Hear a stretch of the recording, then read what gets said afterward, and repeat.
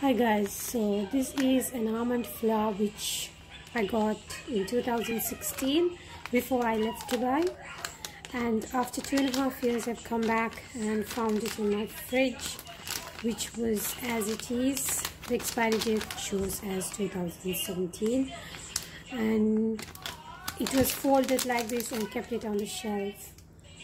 It's been two and a half years and look it still looks good and haven't expired the fridge was on sometimes off during the holiday season but it was on most of the time. And you can see no lumps and there isn't any bugs in there. It looks fresh. And I even tasted a little bit. Mm, yeah it tastes okay. Doesn't smell bad either.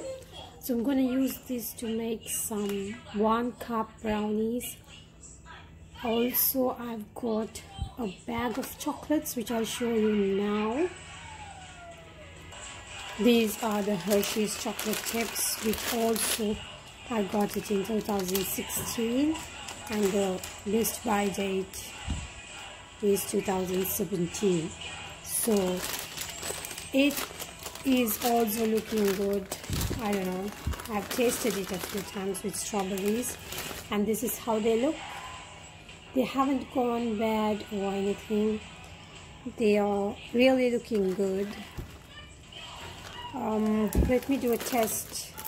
It's just off the fridge so I'm holding it like this.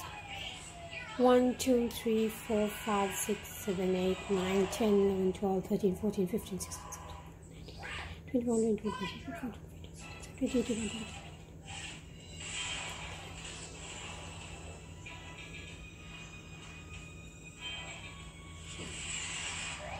well they are really good and I I think I will use these also to make a cup of brownies in the mug and I'll be using my IKEA giant mug which I really missed and left it behind. I'm glad to be united with it. So I'll be adding getting all the ingredients and be back soon. Okay so here is a can of Foster Clark's baking powder. The expiry date is 12 2019 that means just two days back. It's the second today and it I'll open it for you. I have checked it already. Baking powder looks really good. And it's a lot. And I'll be using this only for baking for home. I am promising that I will not be using it for my orders. Because orders are always done with fresh ingredients and this is done only for YouTube video purpose. And maybe I'll be discarding it or I might be using it for my personal baking with Foster Clarks however I will not use it for the people I sell my baking goods with. However I don't use baking powder for choux pastry or even my tarts only for the cakes and I don't do cakes regularly. So don't worry about it. If you're a customer I'll be using fresh produce and I promise to show you when I'm using it.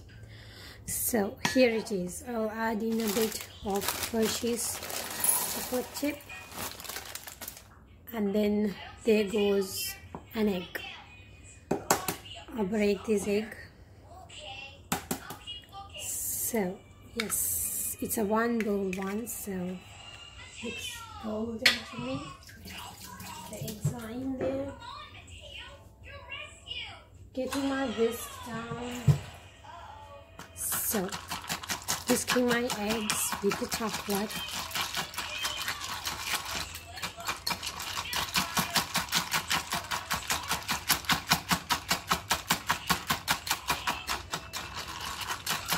I'm assuring that it should be I guess a very chocolate chip cookie brownie or something like that Just experimenting it and I enjoy it So as it's a small quantity, I'm putting a little, a tiny cube of butter here. And keep eating because this needs a lot of beating egg. And then I'll be adding in almond powder, just a little bit. And then half a oh, quarter, one third of a teaspoon of baking powder.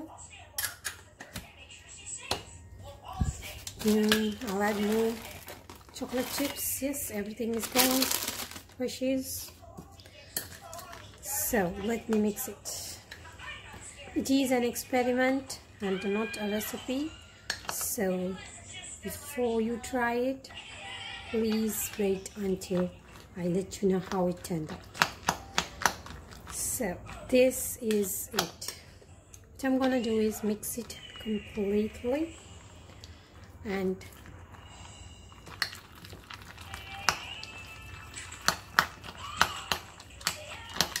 so that the eggs and the butter is well combined with almond powder.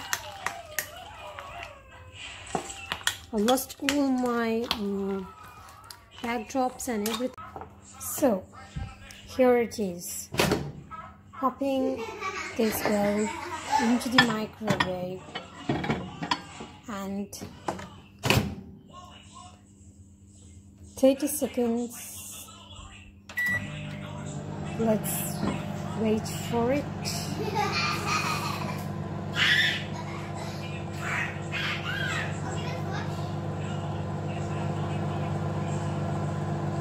In 30 seconds I'm gonna turn it and every 30 seconds I'll be turning it.